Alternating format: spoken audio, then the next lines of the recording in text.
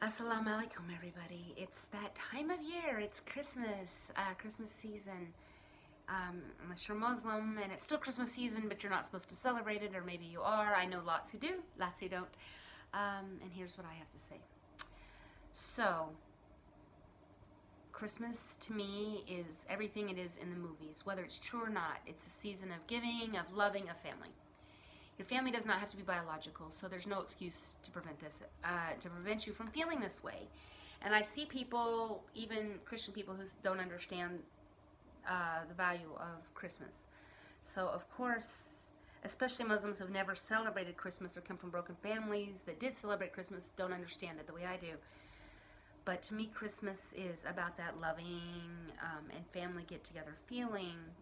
So I've always loved the season from Thanksgiving to Christmas where we spend time as a family together and we think about other people and we plan things. And I love that feeling. And I don't have that with Eid because I didn't grow up in a Muslim family. And as a matter of fact, except for every once in a while when my significant other visits me, I, spend it alone. And so Eid is not a big celebration for me. Um, as an American, I grew up around Christmas. Uh, of course, as a Muslim, I, uh, I respect Jesus too. Jesus is one of our prophets. So celebrating Jesus isn't a wrong thing. Um, when you first become a Muslim, you think everything is black and white. Um, you can do these things, you can't do these things. You can't celebrate Christmas. You can't wear nail polish. You can't do this. You can't do that. And you can develop, after you turn to Islam as a convert, you can continue to develop and read and grow and find out things, or you can become the Haram police, which is unfortunately really common for people. Uh, Haram police are those people, even people who grew up in a Muslim environment, who never bothered to read and study and know that what they're saying is not true. There is no black and white. You can say it a million times to me. Um, you can tell me to read this, read that, and I will just let you know, no, there is no, there, there's no reason for you to be the Haram police to everybody. Um, those of you who tell people they must wear hijab as if uh, no Muslim woman's ever read the Quran. Those of you who believe celebrating Christmas is haram or Thanksgiving or any other holiday besides a Muslim holiday.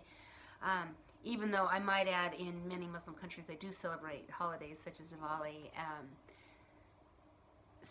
so it, it's not just Christmas. Also, obviously in India they celebrate Indian holidays. Uh, in America we celebrate American holidays. And I know some people say you have to have the religious significance to them. But if it's all about love and giving and family to you, to me, it's go with it. Why should you take this part of yourself? Why should you take this part of you away from your family? So, cut and dry, as a Muslim, I, I I can't say I celebrate Christmas. I celebrate it to um, an extent. I am a teacher for children learning English, and they also want to learn American cultures. So part of my job is to teach them about Christmas. And I don't see a problem with that. History teachers teach history of, uh, you know, World War II. That doesn't mean they're in league with, you know, Hitler, right? Uh, things, um, that's, that's a history, that's culture. I'm teaching them something. And that's how I used to think of it at first, but like last year, I know I did a bunch of Christmas things. This year, I went crazy for my students. Uh, I have gingerbread houses and gingerbread cookies and uh, pre small presents for every one of 83 children. I think I have 84 now, actually. 84 children have got presents for me right now. Um, I teach them Christmas songs. Um, so no, at home I don't have a Christmas tree and Christmas decorations and I don't celebrate it. It's not my holiday and it's not a Chinese holiday, so why celebrate it in China at all? But, um, you know, oh, and I might add, for the past three days, I've watched probably 30 Hallmark Channel uh, Christmas. That's kind of embarrassing, right? I've watched so many Hallmark Channel Christmas specials, which I love. They're cheesy, predictable, completely clean. They're never gonna be, you know. I did see alcohol in like two out of the 30 um, so apparently some TV producers think it's okay to drink in a Christmas movie. But in general, um, actually, for Muslim families, even it's it's good, clean fun. Um, some of them are a little more religious than others. You know, most of them are not religious, right? They're just Santa, giving, uh, finding your true love. you know, the same show over and over and over. Uh, but they're cute, and they're touching and heartwarming and all those things. And of course, uh, sell you on the spirit of Christmas. Um, my favorite growing up has always been The Grinch. Uh, not the uh, Jim Carrey remake, the actual story of the Grinch by Dr. Seuss and the old Dr. Seuss, because I I am that naive, simple person. Uh, I mean, I guess I'm the adult Betty Lou Who as far as Christmas goes. I just want Christmas to be about being with your family and friends and singing and all those things. And I can't give all that up, and I can't feel that it's wrong or haram. Um, we love Jesus too as Muslims, and we all have heard the story a million times that Christmas isn't even a Christian holiday. And in the end, I don't care because I feel like I read more, I research more um, than a lot of people, and I can't find where this is wrong. And it is similar to those people who celebrate Muhammad, uh, peace be upon him's birthday, uh, which a, a large portion of the uh, Muslim population feels is haram.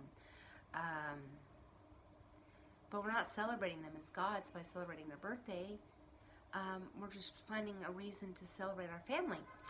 And this is just so important to me. And with my family in another country, literally the other side of the world, um, I don't think I'm digging a hole to America anytime soon. So um, the best way is this um, to send them gifts and to talk with them and to tell them how much I love them. And yes, as a Muslim or um, Christian scientist or Jehovah Witness, you might believe you can't celebrate Christmas with them, and that's fine. And you might believe that you're supposed to do this all the time, honor your father and mother, right? That's a big, big thing for us Muslims. Honor your father and mother. Um, it's a big thing. It should be a big thing for Christians. It's in the Ten Commandments.